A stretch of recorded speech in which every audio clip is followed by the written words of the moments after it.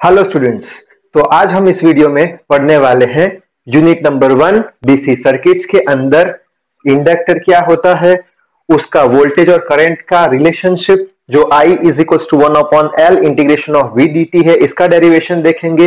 फिर इंडक्टर ने कितना पावर एब्सॉर्ब किया तो इतना पावर एब्सॉर्ब किया, इसका डेरिवेशन देखेंगे, फिर देखेंगे इंडक्टर में कितनी एनर्जी स्टोर होती so is equal to one half L I square का डेरिवेशन देखेंगे, और अंत में हम देखेंगे कि जब इंडक्टर सीरीज़ में कनेक्टेड हो या पैरेलल्स में कनेक्टेड हो, तब उसका इक्विवेलेंट इंडक्टेंस कितना आता है। तो आशा रखता हूँ कि आप कॉपी और पेन के साथ तैयार होंगे सो वीडियो की शुरुआत करते हैं। तो सबसे पहले इस वीडियो में हम पढ़ेंगे इंडक्टर क्या चीज़ होती है? तो इंडक्टर समझने के लिए सबसे पहले हम क्या करेंगे कि एक वायर ले लेंगे। ये जैसे कि एक वायर ले लिया, कॉपर का ले लो या कोई भी मेटल का एक वायर ले लिया हमने। अब ये वायर को अगर आप इस तरीके से, अगर आप बाउंड करते हो, इस तरीके से अगर आप बाउंड करते हो तो ये चीज़ जो है, इसको हम इंडक्टर बोलेंगे। तो इंडक्टर क्या होता है? Simply wounded wire is known as inductor अब ये इंडक्टर की क्या खासियत है? तो इसकी खासियत ये है कि ये अपने अंदर इलेक्ट्रिक एनर्जी को स्टोर करेगा मैग्नेटिक फ़ील्ड के फॉर्म में। तो सबसे पहले हम स्टेटमेंट लिख देते हैं कि इंडक्टर क्या करता? तो इट स्टोर्स द इलेक्ट्रिक या बोल लो electrical energy in the form of magnetic field तो अब ये चीज़ समझने की कोशिश करेंगे कि इंडक्टर कैसे अपने अंदर इलेक्ट्रिक एनर्जी स्टोर करता है मैग्नेटिक फ़ील्ड के फॉर्म में। तो उसको समझने के लिए हम क्या करेंगे? ये इंडक्टर है इसको हम कनेक्ट कर देंगे एक बैटरी के साथ। यानी हम ये इंडक्टर को दे रहे हैं कुछ पोटेंशियल डिफरेंस तो हमने इंडक्टर को कनेक्ट कर दिया प्लस माइनस ठीक है। अब ये इंडक्टर में से क्या होगा? करंट फ्लो होना शुरू हो जाएगा तो हम बोलेंगे कि इंडक्टर में से करंट फ्लो होना शुरू हो गया है। अब हमें मालूम है फेराडेज लॉ हम पढ़ के आए हैं। फेराडेज लॉ क्या बोलता है? कि जब इंडक्टर के अंदर से कोई करंट पास करेगा, तब इंडक्टर के आसपास मैग्नेटिक फ़ील्ड प्रोड्यूस हो जाएगी। तो लॉ कुछ ऐसा था कि when current will pass from the conductor at that time around the conductor magnetic field is produced जैसे कि यहाँ पे ये कंडक्टर के अंदर से कुछ करंट आई पास हुआ तो इसके आसपास क्या प्रोड्यूस हो जाएगा? इसके आसपास प्रोड्यूस हो जाएगा मैग्नेटिक फ़ील्ड। ऐसे मैग्नेटिक फ़ील्ड प्रोड्यूस हो जाएगी। तो उसी तरीके से जब ये इंडक्टर में से करंट पास होगा तो इसके आसपास भी मैग्नेटिक फ़ील्ड प्रोड्यूस हो जाएगी। तो मैं मैग्नेटिक फ़ील्ड ऐसे करके कुछ बना देता हूँ, ऐसी कुछ मैग्नेटिक फ़ील्ड प्रोड्यूस हो गई। ऐसे करके ऐसे कुछ मैग्नेटिक फ़ील्ड, कुछ का डायरेक्शन सपोज़ ये ले लो। तो इंडक्टर में से जब करंट पास होता तो मैग्नेटिक फ़ील्ड प्रोड्यूस हो जाती। और मैग्नेटिक फ़ील्ड की वजह से क्या प्रोड्यूस होता? Magnetic flux. तो मैग्नेटिक फ्लक्स का सिंबल है फाइव अब ये मैग्नेटिक फ्लक्स कितना प्रोड्यूस होगा कि जितना आप करंट बढ़ाओगे, उतना मैग्नेटिक फ्लक्स प्रोड्यूस होगा। तो ये मैग्नेटिक फ्लक्स किसके प्रपोर्शन में है? मैग्नेटिक फ्लक्स करंट आई के प्रपोर्शन में है। अब यहाँ पे कितना फ्लक्स प्रोड्यूस होगा? तो यहाँ पे हम सपोज़ कर लेते हैं कि नंबर ऑफ़ टर्न्स जो है सपोज़ एन है। तो हर एक नंबर ऑफ़ टर्न्स के साथ मैग्नेटिक फ्लक्स लिंक्ड है। तो total number total magnetic flux कितना होगा? तो number of turns multiply with phi ये टोटल फ्लक्स हो गया। Is directly proportional to current अब ये प्रोपोर्शनलिटी सिंबल अगर निकालना है तो आपको प्रोपोर्शनलिटी कांस्टेंट रखना पड़ेगा। तो हम लिखेंगे कि N five is equals to क्या? प्रोपोर्शनलिटी कांस्टेंट जिसको बोलते हैं हम एल इंटू आई अब यहाँ पे मैं एल को सब्जेक्ट बना दू तो ऐसे लिखेंगे L is equals to N phi by I तो ये एल क्या बताता बच्चों? एल बताता इंडक्टेंस किसका? इंडक्टर का।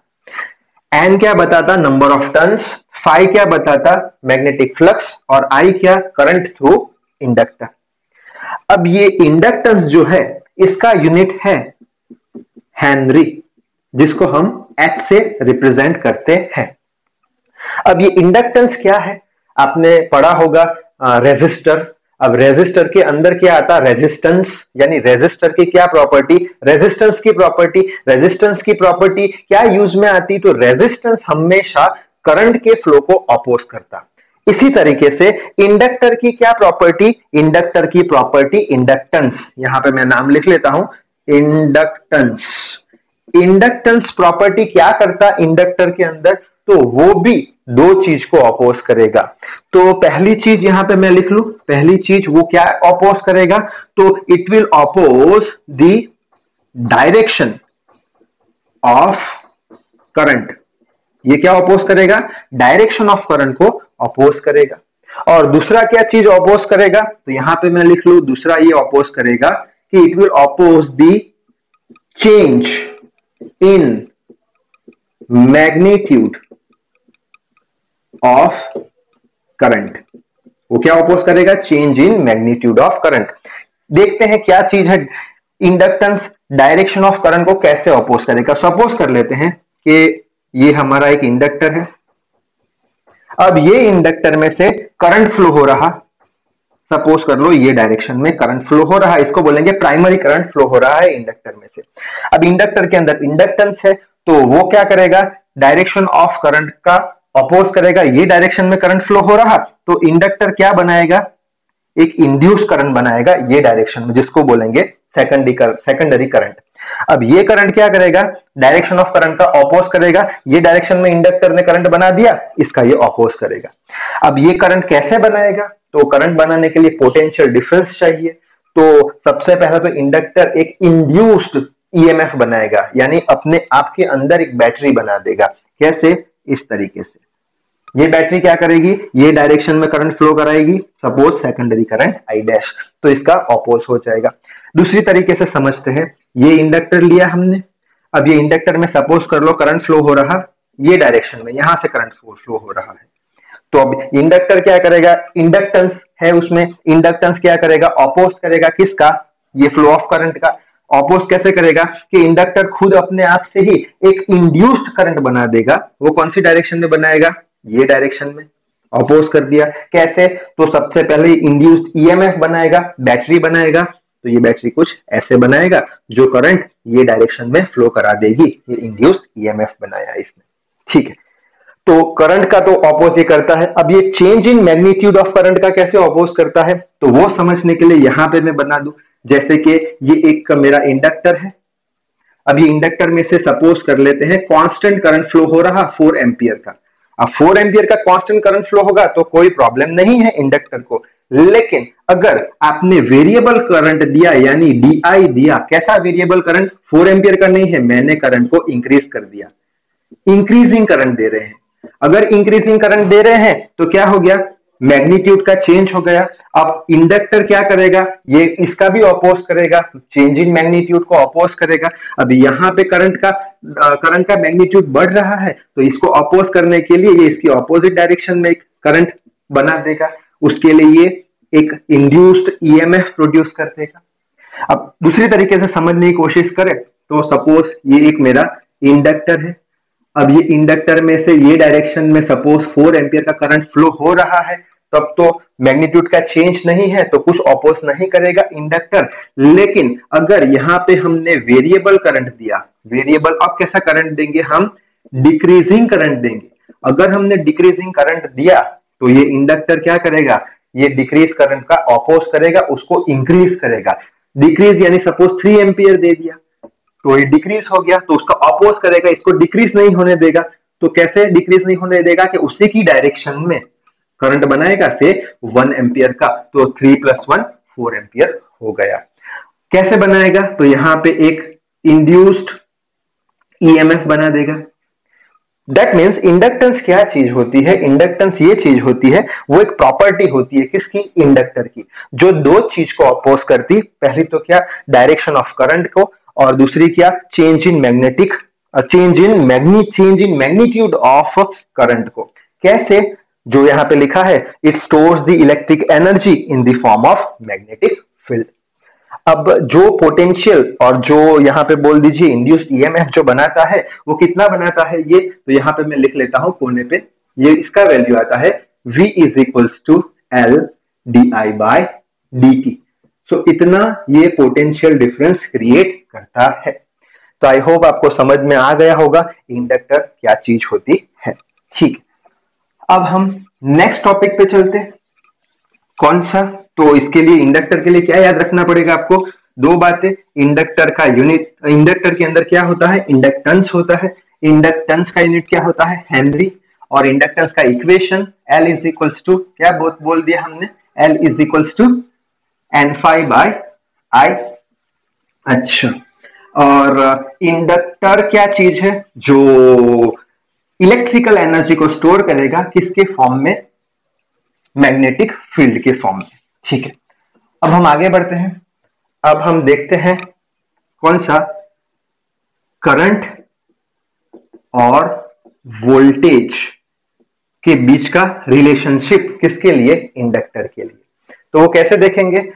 हमको पता है इंड्यूस ईएमएफ कितना है इंडक्टर के अंदर। तो लिखेंगे V बराबर L D I by dt अच्छा अब हम करंट और वोल्टेज का रिलेशनशिप चाहिए तो ये डीआई है, ये इसको हम सब्जेक्ट बना देते हैं। तो आई इज़ इक्वल टू क्या हो जाएगा? ये यहाँ पे चला जाएगा वन अपॉन एल आ जाएगा, और ये डी टी हो जाएगा। अब हमको तो करंट चाहिए आई नहीं चाहिए वेरिएबल करंट है टोटल करंट चाहिए हमको तो हम इंटीग्रेशन ले लेंगे।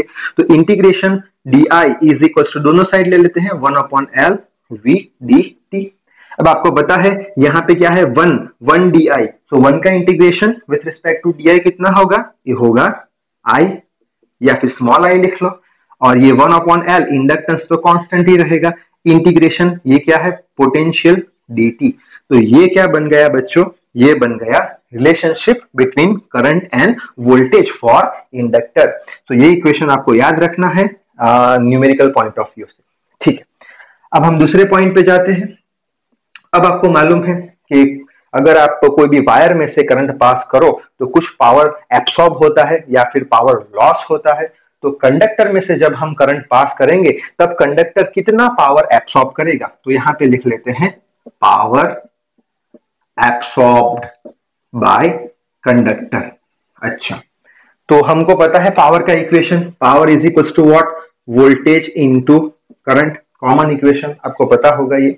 ठीक है तो पावर इज़ इक्वल टू अब वोल्टेज पोटेंशियल डिफरेंस बोल लो वोल्टेज बोल लो, ये कितना है कंडक्टर का?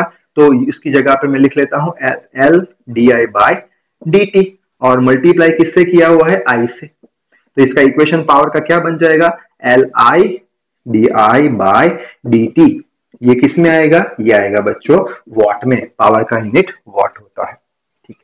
अब तीसरी बात करते हैं, क्या? कि इंडक्टर कितनी एनर्जी स्टोर करेगा? Electric energy in form of magnetic field. तो यहाँ पे मैं लिख लेता हूँ, एनर्जी स्टोर्ड बाय इंडक्टर। तो उसके लिए हम क्या करेंगे? हमको पता है इक्वेशन क्या एनर्जी का? एनर्जी बराबर पावर इंटू टाइम। अब ये कैसे आया? हमको पता है, power is equal to what it is the rate of doing work. अब एन वर्क uh, क्या है? One form of energy work का यूनिट जूल एनर्जी का यूनिट भी जूल सो इलेक्ट्रिक एनर्जी लिख लो टी इलेक्ट्रिक एनर्जी को subject बना दो. पी बाय इंटू टी वही इक्वेशन लिखा. Is equal to power into time अच्छा अब हम छोटे से टाइम इंटरवल में कितना इंडक्टर ने एनर्जी स्टोर करी वो ढूंढेंगे। तो छोटे से टाइम इंटरवल के लिए इंडक्टर ने छोटी सी एनर्जी स्टोर करी तो छोटी सी एनर्जी के लिए मैं लिख लूँगा डीई पावर इनटू छोटा सा टाइम यानी dt अब हमको तो टोटल एनर्जी कितनी स्टोर करी, वो ढूंढना है। तो मैं यहाँ पे लिख लेता हूँ, ये चीज़ यहाँ पे लिख लेता हूँ। तो टोटल एनर्जी के लिए हम इंटीग्रेशन ले लेंगे। तो integration of D E is equal to integration of P into D अब यहाँ पे आपको मालूम है वन डी का इंटीग्रेशन क्या होता है? टोटल एनर्जी ई अब इंटीग्रेशन ऑफ़ पावर कितना? एब्सॉर्ब होता है इंडक्टर में इतना। तो ये लिख लेते हैं क्या? L into I D I by D T ये तो पावर का था। बाकी क्या बचा? डी टी तो मल्टीप्लाई विथ डी टी ये डी टी से ये डी टी कैंसल कर लेंगे। तो एनर्जी कितना होगा? Energy is equal to integration of L I into D I अब यहाँ पे बढ़ लेते हैं। अच्छा अब ये एल का कांस्टेंट है तो E is equals to L का कांस्टेंट बाहर निकाल लो इंटीग्रेशन के आई इंटू डी आई ठीक है, अब यहाँ पे इज़ इक्वल्स टू एल अब आई का इंटीग्रेशन क्या होगा? इंटीग्रेशन आपको मालूम है integration of X D X का क्या होता है? एक्स स्क्वायर बाय टू तो ये integration of I D I है तो इसका क्या होगा? आई स्क्वायर बाय टू तो यहाँ पे लिख लेते हैं आई स्क्वायर बाय टू तो इसको हम लिख लेंगे ई e बराबर, ये टू को आगे ले ले one half L I square तो ये क्या हो गया बच्चों हमारा? ये हो गया power store sorry energy stored in the inductor ठीक है, अब हम आखिरी पॉइंट पे डिस्कस करने जा रहे हैं। कौन सा? पॉइंट नंबर फोर यहाँ पे मैं बना दू। पॉइंट नंबर फोर कि जब अपने जो इंडक्टर है सीरीज़ में कनेक्टेड हो सीरीज़ में कनेक्टेड हो, यानी ये एक इंडक्टर ये सीरीज़ में दूसरे इंडक्टर के साथ कनेक्टेड है। और इसको अपन बैटरी के साथ कनेक्टेड कर देते कनेक्ट कर देते हैं। तो L1 इसका इंडक्टेंस इसका इंडक्टेंस L2 तो आपको मालूम है सीरीज़ में जब रेजिस्टर कनेक्ट होते हैं तो उसका इक्विवेलेंट कितना होता है? R one plus R two उसी तरीके से जब इंडक्टर सीरीज़ में कनेक्ट होते हैं तो उसका equivalent equivalent inductance L equivalent किसके बराबर होता है? L one plus L two के बराबर। तो ये इक्वेशन भी याद रखना न्यूमेरिकल पॉइंट ऑफ़ व्यू से। अच्छा और जब ये पैरेलल में कनेक्टेड हो पैरेलल यानी कैसे? ये एक इंडक्टर उसका इंडक्टेंस L1 ये दूसरा इंडक्टर जिसका इंडक्टेंस L2 और इसको पोटेंशियल डिफरेंस दे दिया बैटरी से कनेक्ट कर दिया। तो इसके लिए क्या आंसर आता है? वही रेजिस्टेंस वाला ही। वन अपॉन एल इक्वेलेंट क्या करते थे one upon L one plus one upon L two तो यहाँ पे मैं लिख लू वन अपॉन एल इक्वेलेंट बराबर, ये एलसीएम ले लेते हैं। L two plus L one या फिर आप बोल लो cross multiplication divided by L one L two तो फाइनली ये रेसिप्रोकल ले लेते हैं एल इक्विवेलेंट चाहिए एल इक्विवेलेंट बराबर L one L two divided by L one plus L two तो ये इक्वेशन आ गया इक्विवेलेंट इंडक्टर इंडक्टेंस का, जब ये सीरीज़ में कनेक्टेड हो. अब आखिरी बात कर लेते हैं कि टाइप्स ऑफ़ इंडक्टर है तो दो ही टाइप है डिटेल में पढ़ना नहीं है. एक टाइप है जो हम पढ़ चुके हैं, जिसको बोलते हैं हम फिक्स्ड इंडक्टर और दूसरा एक टाइप है जिसको हम बोलते हैं वेरिएबल इंडक्टर जिसमें ऐसे करके एरो का सिंबल बना देते हैं। तो यही सारी बातें थी इंडक्टर के बारे में। तो वीडियो को करते हैं यहाँ पे ही समाप्त। तो till then read hard work hard thank you very much